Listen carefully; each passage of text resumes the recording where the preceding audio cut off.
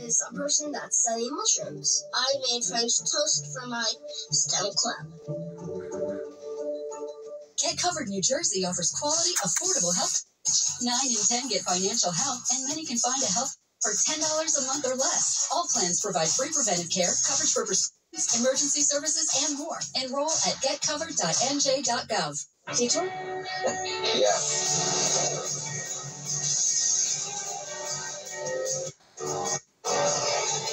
Lease the new 2024 Seltos LX for 229 a month.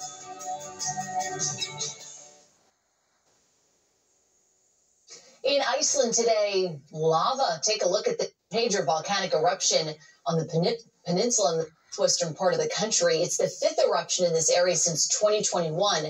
There was a series of small earthquakes prior to the volcano erupting. Residents living near this volcano had to evacuate. Iceland's president now says no lives are in danger.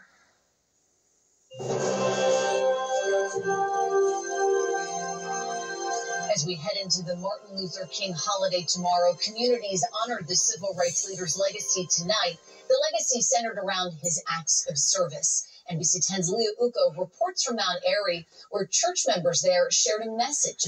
When it comes to service and leadership, everyone has a responsibility to step up, not just those in power.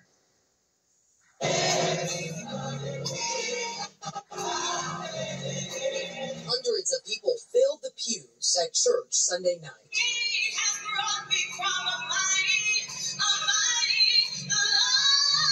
To celebrate leadership, those who led in the past, present, and now the future. You don't receive salvation by reading, but by hearing.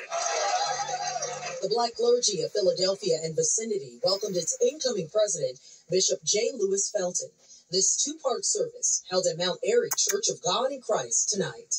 Parts of its focus was to also celebrate Martin Luther King Day, the night before the holiday officially begins. When you're talking about somebody who was anchored in his faith, and you know, faith without works is dead.